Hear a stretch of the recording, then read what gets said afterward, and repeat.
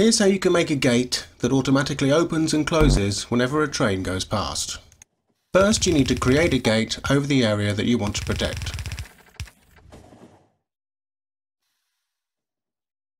At the end of the gate, you need to put some wall. This will turn into a gate controller and the gate controller interacts with the circuit network and the red and green wires. Now put rail signals at the beginning and at the end of the area that you wish to protect, making a signal block as shown in yellow here. Connect the gate controllers with red or green wire to the signal where the train enters the protected area.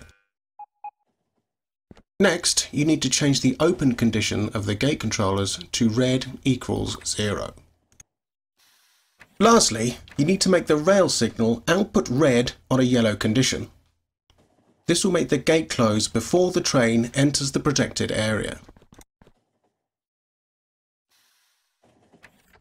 Optionally, you can add warning lamps to light up showing the condition of the gate and signal circuit networks. To do this, connect the lamp to the gate and signal circuit network. Then, change the enabled condition on the lamp to anything is greater than zero. Also remember to select Use Colors.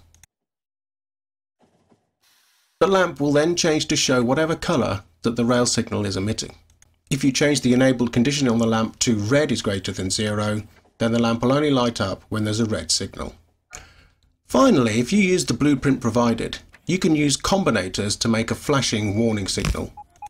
Place down the blueprint. You need to connect the gate and rail signal circuit network to the second left combinator, as shown here. This will create red lamps that flash on and off whenever there's a red signal and the gates are closed.